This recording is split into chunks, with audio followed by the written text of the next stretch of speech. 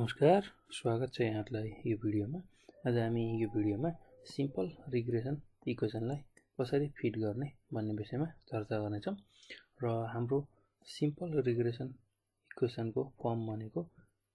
Why इजिकस to A plus B X हुन्छ। यदि why on एक्समा हामीले सिम्पल रिग्रेसन इक्वेसन लिएको छौँ भने र simple regression of Y on एक्सलाई हामी यसरी सुरुमा रिप्रेजेन्ट गर्छौँ Y equals to A plus B X र यसमा वाइ भनेको डिपेन्डेन्ट भेरिएबल मान्छौँ र एक्स भनेको हामी इन्डिपेन्डेन्ट भेरिएबल मान्छौँ र ए र बी भनेको दुईवटा कन्सटेन्ट हो जुन वाइ इन्टरसेप्ट हो ए भनेको र बी भनेको स्लोप अफ द लाइन हो र यो ए र बी भन्ने जुन कन्सटेन्ट छ त्यसको भ्यालु हामी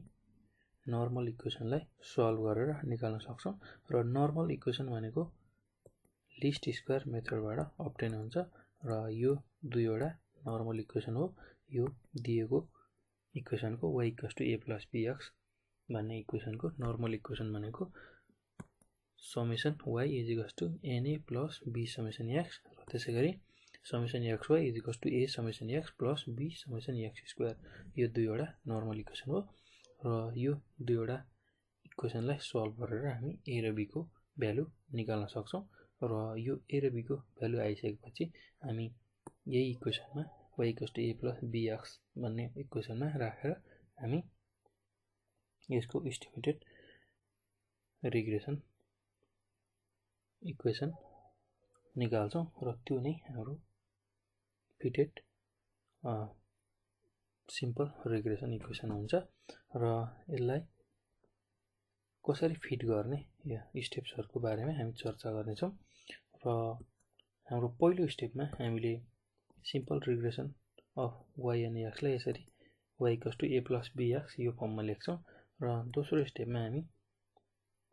यसको नर्मल इक्वेसनलाई लेख्छौँ summation Y equals to A N plus B summation X र summation X Y इजिकस to A summation X plus B summation X square.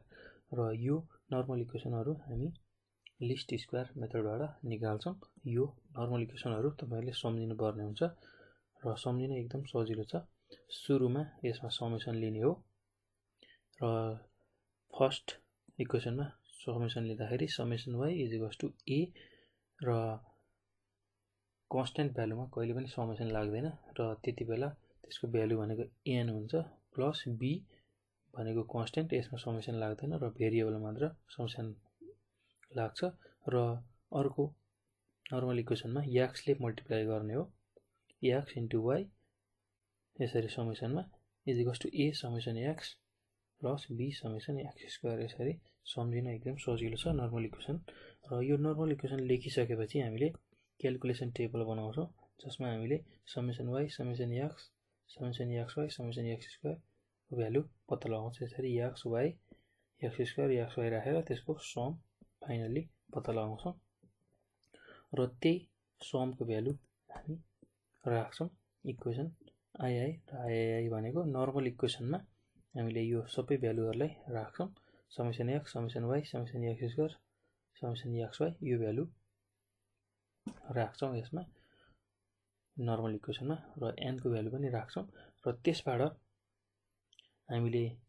एउटा अर्को इक्वेसन पाउँछौँ जसमा ए र बीको भ्यालु मात्र रहन्छ र त्यही दुईवटा इक्वेसनलाई सल्भ गरेर फेरि हामी ए र बीको भ्यालु फाइनल्ली पाउँछौँ र यही ए र बीको भ्यालुलाई हामी फाइनल्ली हाम्रो इक्वेसन आई अर्थात् simple regression of Y on एक्समा राख्छौँ र त्यसले नै हामीलाई required curve of best fit दिन्छ र त्यसले नै हामीलाई फिटिङ भएको कप रिप्रेजेन्ट गराउँछ। एकदम सजिलो छ। यो तिन चारवटा स्टेप्सहरूलाई तपाईँले सम्झिनु भयो भने सिम्पल लिनियर अथवा सिम्पल रिग्रेसन इक्वेसनमा फिटिङ एकदम सजिलोसँग तपाईँहरूले गर्न सक्नुहुनेछ। यही स्टेप्सहरूलाई याद गर्नुहोला र हामी योभन्दा पछिको भिडियोमा कसरी सिम्पल रिग्रेसन इक्वेसन फिटिङ गर्ने भनेर प्रब्लम गर्नेछौँ र यो भिडियो हेरेपछि त्यो भिडियो पनि जरुर हेर्नुहोला र यो भिडियो हेरिसकेपछि यसलाई लाइक सब्सक्राइब र सेयर गर्न नभुल्नुहोला। धन्यवाद।